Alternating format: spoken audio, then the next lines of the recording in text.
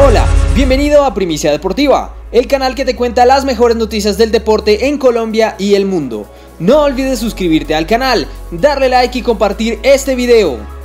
Este fin de semana se disputó la final de la Carabao Cup entre el Chelsea y el Manchester City, que al final sería el campeón en definición del punto penal. Pese al campeonato conseguido por el City, la noticia que más acaparó la atención fue el incidente entre el técnico del Chelsea, Mauricio Sarri, y el portero Kepa Arrizabalaga. El portero español no abandonó el campo de juego luego de que su técnico intentara sustituirlo, hecho que causó revuelo entre los espectadores del encuentro.